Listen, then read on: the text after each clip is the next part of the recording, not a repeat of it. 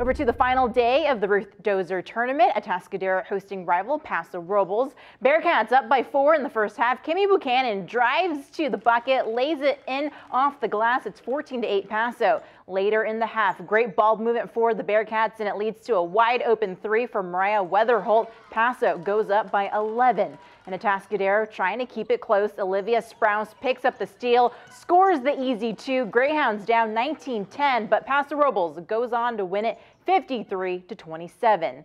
And earlier in the day, Santa beats Arvin 51 to 42, while San Luis Obispo won the tournament as they shut out Ocean View 45 to 18.